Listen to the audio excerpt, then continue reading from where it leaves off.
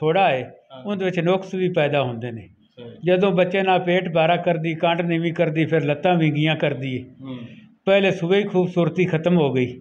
ਇੱਕ ਹੱਡੀ ਹੈ ਨਾ ਜੀ ਇਹਨੂੰ ਜ਼ਿਆਦਾ ਖੂਬਸੂਰਤ ਗਿਣਿਆ ਜਾਂਦਾ ਹੈ। ਤੇ ਇਸ ਨੂੰ ਅਮੀਅਤ ਵੀ ਰਾਵੀ ਨਾਲੋਂ ਨੀਲੀ ਵਾਲੇ ਦੋਸਤ ਜਿਹੜੇ ਨੇ ਉਹ ਗਣੀ ਦਿੰਦੇ ਨੇ। ਤੇ ਤਿੰਨ ਹੱਡੀਆਂ ਵੀ ਨੀਲੀ ਤੇ ਗੜੀਆਂ ਨੇ ਰਾਵੀ ਤੇ ਨਹੀਂ।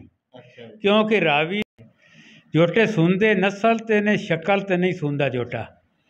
ਹੁਣ ਜਿੰਨੇ ਜੋਟੇ ਮਸ਼ਹੂਰ ਹੋਏ ਨੇ ਲੁਧਿਆਣਿਆਂ ਦੇ ਕੋਈ ਚਿੱਬੂ ਹੈ ਕੋਈ ਬੂੜੀ ਹੈ ਉਹ ਚਿੱਬੂ ਤੇ ਬੂੜੀ ਕਿਉਂ ਐ ਸੋਹਣੇ ਨਹੀਂ? ਤੇ ਉਹਨਾਂ ਮਤਲਬ ਇੱਕ ਨਾਂ ਪੈਦਾ ਕੀਤਾ ਨੀਲੀ ਤੇ ਮੱਝਾਂ ਬਣਾਉਣ ਵਾਲਾ। ਤੇ ਉਹਨਾਂ ਨੂੰ ਰੈਂਗੀ ਚ ਤਾਂ ਪਹਿਲੇ ਫੇਰੇ ਹੀ ਕੱਢ ਛੱਡ ਸਨ। ਉਹਨੂੰ ਖੁਰਾਕ ਨਹੀਂ ਦਿੱਤੀ ਜਾਂਦੀ ਮਰ ਦੁੱਧ ਸਾਰੇ ਬਰੀਡਰ ਫਾਰਮਾਂ 'ਚ ਦੁੱਧ ਵੇਚਦੇ ਅਸੀਂ ਵੀ ਵੇਚਨੇ ਆ। ਫਿਰ ਉਹਨਾਂ ਦੁੱਧ ਨਹੀਂ ਚੁਗਾਇਆ ਜਾਂਦਾ। ਤੇ ਅਸੀਂ ਤਾਂ ਅੱਜ ਵੀ ਮਤਲਬ ਬੱਚੇ ਨੂੰ ਕਦੇ ਬੰਨ ਕੇ ਨਹੀਂ ਚੋਈ। ਹੂੰ। 6 ਮਹੀਨੇ ਤੱਕ ਪਾਸਾ ਹੀ ਬੱਚੇ ਚੁਗਦੇ ਨੇ। ਜੇ ਮੱਝ ਕਿਸੇ ਦਾ 20 ਸੇਰ ਦੁੱਧ ਹੁੰਦਾ ਜਾਂ 22 ਹੁੰਦਾ ਤਾਂ ਤਾਂ ਪਾਸਾ ਬੱਚਾ ਨਹੀਂ ਚੁਗਦਾ ਇਹ ਛੱਡ ਕੇ ਆਪੇ ਭੱਜ ਜਾਂਦਾ। ਜੀ ਪੀਰ ਸਾਹਿਬ ਜਿਹੜੀ ਮੱਝ ਦੀ ਖੂਬਸੂਰਤੀ ਤੇ ਤੁਸੀਂ ਗੱਲ ਕਰ ਰਹੇ ਸੀ ਸਾਰਾ ਤੁਸੀਂ ਇੱਕ ਇੱਕ ਚੀਜ਼ ਦੱਸੀ। ਤੇ ਅੱਜ ਕੱਲ ਇਹ ਬੜਾ ਇਸ਼ੂ ਆ ਕਿ ਸਿੰਗਲ ਹੱਡੀ ਤੇ ਤਿੰਨ ਹੱਡੀਆਂ ਜਿਹੜੀ ਦਰਮਿਆਨ ਵਾਲੀ ਹੱਡੀ ਹੁੰਦੀ ਆ ਇਹਦੇ ਤੇ ਤੁਸੀਂ ਤੁਹਾਡੀ ਕੀ ਰਾਏ ਆ ਕੀ ਖੂਬਸੂਰਤੀ ਦਾ ਮਿਆਰ ਹੈ ਇਹਦੀ ਜਿਹੜੀ ਇੱਕ ਹੱਡੀ ਹੈ ਨਾ ਜੀ ਇਹਨੂੰ ਜ਼ਿਆਦਾ ਖੂਬਸੂਰਤ ਗਿਣਿਆ ਜਾਂਦਾ ਹੈ। ਤੇ ਇਸ ਨੂੰ ਅਮੀਅਤ ਵੀ ਰਾਵੀ ਨਾਲੋਂ ਨੀਲੀ ਵਾਲੇ ਦੋਸਤ ਜਿਹੜੇ ਨੇ ਉਹ ਗਣੀ ਦਿੰਦੇ ਨੇ। ਤੇ ਤਿੰਨ ਹੱਡੀਆਂ ਵੀ ਨੀਲੀ ਤੇ ਗੜੀਆਂ ਨੇ ਰਾਵੀ ਤੇ ਨਹੀਂ। ਕਿਉਂਕਿ ਰਾਵੀ ਦੀ ਉੱਚੀ ਹੱਡੀ ਵੀ ਨਹੀਂ ਤਿੰਨ ਹੱਡੀਆਂ ਵੀ ਨਹੀਂ ਜ਼ਿਆਦਾ। ਇਹਦਾ ਗੋਲ ਪੁੱਠਾ। ਹੱਡੀ ਹੁੰਦੀ ਹੀ ਨਹੀਂ। ਉੱਤ ਬਿਲਕੁਲ ਪੱਧਰਾ ਹੁੰਦਾ ਹੈ। ਸਾਰਾ ਗੋਲ ਪੁੱਠਾ ਹੁੰਦਾ ਹੈ। ਚੌਰਸ। ਉਹ ਵੀ ਸੋਹਣਾ ਗਿਣਿਆ ਜਾਂਦਾ ਹੈ। ਰਾਵੀ ਦੀ ਮੱਝ ਵਿੱਚ ਵਜ਼ਨ ਵਿੱਚ ਗਿਣਿਆ ਜਾਂਦਾ ਭਾਰੀ ਮੱਝ ਪਿੱਛੂ ਲੱਗਦੀ। ਤੇ ਉਹ ਹੱਡੀ ਜਿਹੜੀ ਹਿੱਕ ਹੈ ਤੇ ਵਿਚਲੀ ਉੱਚੀ ਉਹ ਖੂਬਸੂਰਤੀ ਸੋਹਣੀ ਗਿਣੀ ਜਾਂਦੀ ਚਾਹੇ ਰਾਵੀ ਚ ਆ ਜਾਵੇ ਚਾਹੇ ਨੀਲੀ ਚ ਆ ਜਾਵੇ ਹੈ। ਹਾਂਜੀ। ਬਾਕੀ ਤਿੰਨ ਹੱਡੀਆਂ ਵੀ ਤੇ ਇੱਕ ਹੱਡੀ ਨੀਲੀ ਵਿੱਚ ਜ਼ਿਆਦਾ ਨੇ ਰਾਵੀ ਦਾ ਗੋਲ ਪੁੱਠਾ ਹੈ। ਦੋਵੇਂ ਹੱਡੀਆਂ ਘੱਟ ਹਨ ਰਾਵੀ ਵਿੱਚ। ਬਾਕੀ ਜਿਹੜੀ ਜੋਟਿਆਂ ਦਾ ਤੁਸੀਂ ਮਸਲਾ ਦੱਸਦੇ ਹੋ ਜੀ ਹਾਂਜੀ। ਜਿਹੜੇ ਜੋਟੇ ਰਿੰਗ ਚ ਆਉਂਦੇ ਨੇ ਉਹ ਤਾਂ ਸਿਰਫ ਖੂਬਸੂਰਤੀ ਵੇਖੀ ਜਾਂਦੀ ਨਸਲ ਨਹੀਂ ਵੇਖੀ ਜਾਂਦੀ। ਤੇ ਨਸਲ ਦਾ ਪਤਾ ਵੀ ਨਹੀਂ ਲੱਗਦਾ ਜੀ। ਇੱਕ ਖੂਬਸੂਰਤ ਜੋਟਾ ਆਇਆ ਉਹਦਾ ਨਹੀਂ ਪਤਾ ਪਿੱਛੂ ਕਿਸ ਨਸਲ ਦਾ ਹੈ। ਜੋਟੇ ਸੁਣਦੇ ਨਸਲ ਤੇ ਨੇ ਸ਼ਕਲ ਤੇ ਨਹੀਂ ਸੁਣਦਾ ਜੋਟਾ। ਹੁਣ ਜਿੰਨੇ ਜੋਟੇ ਮਸ਼ਹੂਰ ਹੋਏ ਨੇ ਲੁਧਿਆਣਿਆਂ ਦੇ ਕੋਈ ਚਿੱਬੂ ਹੈ ਕੋਈ ਬੂੜੀ ਹੈ ਉਹ ਚਿੱਬੂ ਤੇ ਬੂੜੀ ਕਿਉਂ ਐ ਸੋਹਣੇ ਨਹੀਂ? ਤੇ ਉਹਨਾਂ ਮਤਲਬ ਇੱਕ ਨਾਂ ਪੈਦਾ ਕੀਤਾ ਨੀਲੀ ਤੇ ਮੱਝਾਂ ਬਣਾਉਣ ਵਾਲਾ। ਤੇ ਉਹਨਾਂ ਨੂੰ ਰੈਂਗੀ ਚ ਤਾਂ ਪਹਿਲੇ ਫੇਰੇ ਹੀ ਕੱਢ ਛੱਡ ਸਨ। ਹਾਂਜੀ। ਇਸ ਵਾਸਤੇ ਜਿਹੜਾ ਫਸਟ ਆਉਂਦਾ ਨਾ ਜੋਟਾ ਰਿੰਗ ਵਿੱਚ ਉਹ ਜ਼ਰੂਰੀ ਨਹੀਂ ਕਿ ਇਸ ਤੋਂ ਮੱਝਾਂ ਕਰਾਓ। ਬਸ ਉਹਦੀ ਬੈਗ ਸਾਈਡ ਵੇਖੋ, ਪਿਛਾਂ। ਅਗਰ ਉਹ ਸਹੀ ਹੈ ਤਾਂ ਫਿਰ ਕਰਾਵੋ ਨਹੀਂ ਸਹੀ ਤਾਂ ਨਾ ਕਰਾਵੋ ਉਸ ਖੂਬਸੂਰਤੀ ਦੀ ਹੱਦ ਤੱਕ ਕਰਾਉਣ ਦਿਓ। ਸਹੀ ਹਾਂਜੀ ਕ੍ਰਾਸ ਕਰਾਉਣ ਤੇ ਅੱਜ ਕੱਲ ਕਈ ਦੋਸਤਾਂ ਦੀ ਮੁxtਲਫ ਰਾਏ ਆ। ਕੋਈ ਕਹਿ ਰਹੇ ਨੇ ਕਿ ਖੀਰੀਆਂ ਕਰਾਸ ਕਰਾ ਲਵੋ ਤੇ ਜਿਹੜੀਆਂ ਦੋਂਦੀਆਂ, ਜਿਹੜੀਆਂ ਸੂਣੀਆਂ ਚਾਹੀਦੀਆਂ, ਕਿਉਂਕਿ ਮੁਕਾਬਲਾ ਵੀ ਦੋਂਦੀ ਚੌਗੀ ਦਾ ਹੁੰਦਾ ਵਾ। ਤੇ ਕਈ ਦੋਸਤਾਂ ਦੀ ਇਹ ਰਾਏ ਆ ਕਿ ਝੋਟੀ ਫੁੱਲ ਜਵਾਨ ਹੋਵੇ ਤੇ ਫੇਰ ਹੀ ਕਰਾਸ ਕਰਾਉਣੀ ਚਾਹੀਦੀ ਆ। ਇਸ ਬਾਰੇ 'ਚ ਤੁਸੀਂ ਕੀ, ਤੁਹਾਡੀ ਕੀ ਰਾਏ ਆ? ਇਹਦੇ 'ਚ ਇੱਕ ਜਿਹੜੀ ਫੁੱਲ ਜਵਾਨ ਜੋਟੀ ਕ੍ਰਾਸ ਹੁੰਦੀ ਨਾ ਜੀ ਉਹ ਪਹਿਲੇ ਸੂਏ ਹੀ ਦੁੱਧ ਪੂਰਾ ਦੂਜਿਆਂ ਦਾ ਦੇ ਜਾਂਦੀ ਹੈ। ਜਿਹੜੀ ਖੀਰੀ ਦੁੰਦੀ ਸੁੰਦੀ ਉਹ ਪਹਿਲਾ ਸੂਆ ਦੁੱਧ ਥੋੜਾ ਕਰਦੀ।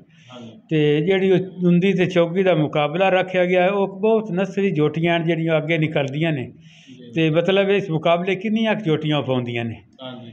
100 ਪਹਿਲੇ ਸੂਏ ਤੋਂ ਨਚ ਇੱਕ ਹੀ ਨਿਕਲ ਸੀ ਨਾ ਉਹ। ਬਿਲਕੁਲ। ਜਿਹੜੀਆਂ ਜਵਾਨ ਜੋਟੀਆਂ ਨੇ ਉਹ 100 ਵਿੱਚੋਂ 50 ਦੁੱਧ ਤੇ ਆ ਜਾਸੀ ਜੀ ਜੀ। ਬਾਕੀ ਜਿਹੜੀ ਖੀਰੀ ਜੋਟੀ ਜੇ ਅਗਰ ਉਹਦਾ weight ਪੂਰਾ ਕਰ ਲਓ ਵਜ਼ਨ ਪੂਰਾ ਕਰ ਲਓ ਤਾਂ ਕੋਈ ਹਰਜ ਨਹੀਂ। ਇਹ ਛੋਟ ਉਹਦਾ weight ਥੋੜਾ ਹੈ ਵਜ਼ਨ ਥੋੜਾ ਹੈ ਉਹਦੇ ਵਿੱਚ ਨੁਕਸ ਵੀ ਪੈਦਾ ਹੁੰਦੇ ਨੇ। ਜਦੋਂ ਬੱਚੇ ਨਾਲ ਪੇਟ ਬਾਰਾ ਕਰਦੀ ਕੰਡ ਨੀਵੀਂ ਕਰਦੀ ਫਿਰ ਲੱਤਾਂ ਵਿੰਗੀਆਂ ਕਰਦੀ ਹੈ। ਪਹਿਲੇ ਸੂਬੇ ਹੀ ਖੂਬਸੂਰਤੀ ਖਤਮ ਹੋ ਗਈ। ਗਿਆ। ਤੇ ਇਸ ਵਾਸਤੇ ਉਤਨੀ ਖੁਰਾਕ ਨਹੀਂ ਦਿੱਤੀ ਜਾਂਦੀ। ਮਰ ਦੁੱਧ ਸਾਰੇ ਬਰੀਡਰ ਫਾਰਮਾਂ 'ਚ ਦੁੱਧ ਵੇਚਦੇ ਅਸੀਂ ਵੀ ਵੇਚਨੇ ਤੇ ਅਸੀਂ ਤਾਂ ਅੱਜ ਵੀ ਮਤਲਬ ਬੱਚੇ ਨੂੰ ਕਦੇ ਬੰਨ ਕੇ ਨਹੀਂ ਚੋਈ ਹੂੰ। 6 ਮਹੀਨੇ ਤੱਕ ਪਾਸਾ ਹੀ ਬੱਚੇ ਚੁਗਦੇ ਨੇ।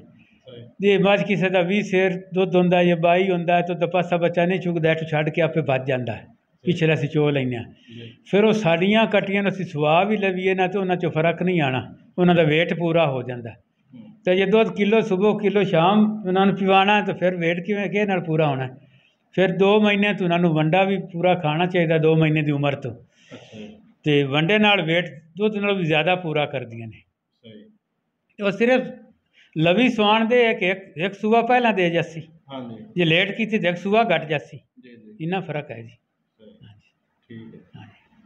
ਹੋਰ ਪੀਰ ਸਾਹਿਬ ਕੋਈ ਗੱਲ ਕਰਨਾ ਚਾਹੋਗੇ ਇਸ ਸ਼ੌਕ ਦੇ ਹਵਾਲੇ ਨਾਲ?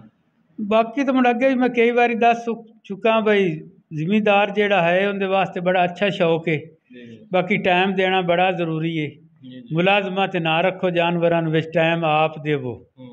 ਤੇ ਸ਼ੌਕੀਨ ਦੀ ਸਿਆਣ ਹੋਣੀ ਚਾਹੀਦੀ ਜਾਨਵਰਾਂ ਨੂੰ ਕਿ ਸਾਡਾ ਇਹ ਮਾਲਕ ਹੈ ਆਹ ਮੁਲਾਜ਼ਮ ਹੈ ਆਹ ਮਾਲਕ ਹੈ ਸਿਆਣ ਜਾਨਵਰਾਂ ਜ਼ਰੂਰ ਹੋਣੀ ਚਾਹੀਦੀ। ਸਹੀ। ਤੇ ਮਾਲਕ ਦੀ ਸਿਆਣ ਜਦੋਂ ਜਾਨਵਰ ਨੂੰ ਹੁੰਦੀ ਨਾ ਜਿਵੇਂ ਮਾਲਕ ਖੁਸ਼ ਹੁੰਦਾ ਜਾਨਵਰ ਨੂੰ ਵੇਖ ਕੇ ਜਾਨਵਰ ਮਾਲਕ ਨੂੰ ਵੇਖ ਕੇ ਖੁਸ਼ ਹੁੰਦਾ। ਸਹੀ।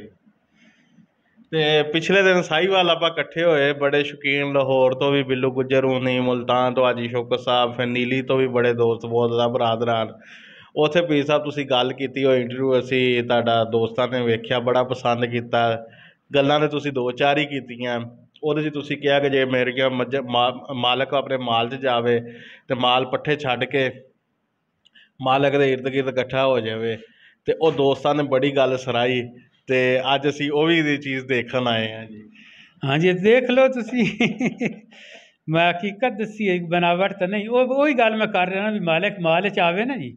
ਤਾਂ ਕਿਵੇਂ ਨਾ ਜਾਨਵਰ ਸਿਆਣੇ ਬਹੁਤ ਸਿਆਣਾ ਹੁੰਦਾ ਜੀ। ਹਾਂਜੀ। ਸਿਆਣ ਸੀ। ਹਾਂਜੀ। ਜਿਵੇਂ ਮਾਲਕ ਖੁਸ਼ ਸੀ ਜਾਨਵਰ ਹੀ ਮਾਲਕ ਨੂੰ ਵੇਖ ਕੇ ਖੁਸ਼ ਹੁੰਦਾ ਜੀ।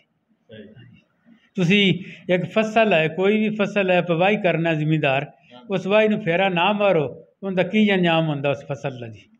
ਹਾਂਜੀ ਉਜੜੀ ਜਾਂਦੀ ਹੈ ਬਾਈ। ਹਾਂਜੀ। ਸਹੀ। ਇਹ ਵੀ ਸਾਰੀ ਫਸਲ ਹੀ ਹੈ ਨਾ ਜੀ। ਆ ਜਾਓ।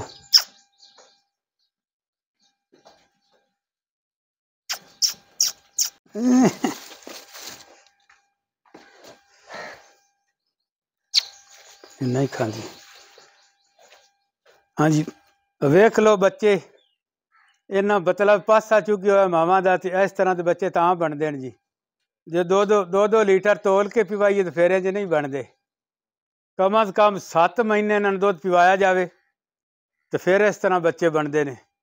ਹੁਣ ਇਹ ਕੱਟੀ 4 ਮਹੀਨੇ ਦੀ ਹੈ ਜੀ। ਵੇਖ ਲਓ ਇਹਦਾ weight ਕਿੰਨਾ ਹੈ। ਇਸ ਤਰ੍ਹਾਂ ਦੁੱਧ ਪਿਵਾਇਆ ਜਾਵੇ ਤਾਂ ਆਪੇ ਖੀਰੀਆਂ ਦੁੱਧੀਆਂ ਸੁਣੀਆਂ ਨੇ। ਤੇ 2-2 ਕਿਲੋ ਪਿਵਾਇਆ ਜਾਵੇ ਤਾਂ ਫਿਰ 6 ਦੰਦ ਕਰਕੇ ਨਵੀਆਂ ਹੋਣੀਆਂ ਨੇ ਜੀ। ਤੇ ਬਰੀਡ ਦੁੱਧ ਦੁੱਧ ਪਿਵਾਏ ਬਗੈਰ ਬਰੀਡ ਨਹੀਂ ਬਣਦੀ ਬਰੀਡ ਬਣਾਣੀ ਹੈ ਤਾਂ ਦੁੱਧ ਦਾ ਸਰਫਾ ਨਾ ਕਰੋ ਦੁੱਧ ਪਿਵਾਵੋ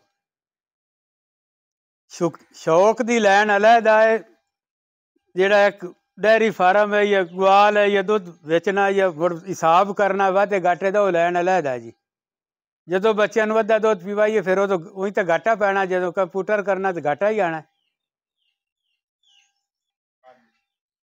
ਹਾਂਜੀ ਅਸੀਂ ਕਦੇ ਬੱਚਾ ਬੰਨ ਕੇ ਮੱਝ ਨਹੀਂ ਚੋਈ ਜਿੰਨਾ ਦੁੱਧ ਪਿਵਾਣਾ ਉਹ ਨਾਲ ਹੀ ਪੀਂਦੇ ਨੇ।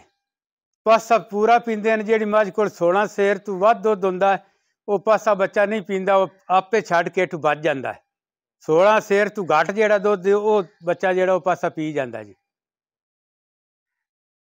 ਅਸੀਂ ਕਰਾ ਸਰਪਾ ਨਹੀਂ ਕੀਤਾ ਤੇ ਤਾਂ ਹੀ ਆ ਗੜਾਪਾ ਖੇਰੀਆਂ ਦੁੰਦੀਆਂ ਸੁੰਦੀਆਂ ਨੇ ਜੀ। ਜੀ ਦੋਸਤੋ, ਉਮੀਦ ਆ ਅੱਜ ਦੀ ਤੁਹਾਨੂੰ ਵੀਡੀਓ ਪਸੰਦ ਆਈ ਹੋਏਗੀ। ਇਸ ਵੀਡੀਓ ਦੇ ਬਾਰੇ ਵਿੱਚ ਤੇ ਪੀਰ ਸਾਹਿਬ ਦੇ ਬਾਰੇ 'ਚ ਜੇ ਕੋਈ ਹੋਰ ਮਜ਼ੀਦ ਕੋਈ ਸਵਾਲ ਦੋਸਤਾਂ ਨੇ ਪੁੱਛਣਾ ਹੋਵੇ ਤਾਂ ਕਮੈਂਟ 'ਚ ਪੁੱਛਿਓ, ਇਨਸ਼ਾਅੱਲਾ ਅਸੀਂ ਅਗਲੀ ਨਸ਼ਿਸਤ ਵਿੱਚ ਫਿਰ ਤੁਹਾਡਾ ਜਿਹੜੇ ਸਵਾਲ ਆ ਤਾਂ ਉਹਨਾਂ ਦੇ ਜਵਾਬ ਜਿਹੜੇ ਤੁਹਾਨੂੰ ਲੈ ਕੇ ਦਾਂਗੇ। ਤੇ ਬਹੁਤ ਸ਼ੁਕਰੀਆ ਜੀ ਪੀਰ ਸਰਾਰ ਸ਼ਾਹ ਸਾਹਿਬ ਦਾ ਜਿਨ੍ਹਾਂ ਨੇ ਸਾਨੂੰ ਖਸੂਸੀ ਟਾਈਮ ਦਿੱਤਾ, ਮੁਹੱਬਤ ਕਰਦੇ, ਸ਼ਫਕਤ ਕਰਦੇ ਆ ਜੀ। ਇਹਨਾਂ ਤੋਂ ਵੀ ਅਸੀਂ ਇਜਾਜ਼ਤ ਲੈਂਦੇ ਆ ਨਾਲ ਡਾਕਟਰ ਇਜਾਜ਼ ਅਹਿਮਦ ਸਾਹਿਬ ਨੇ ਜੀ।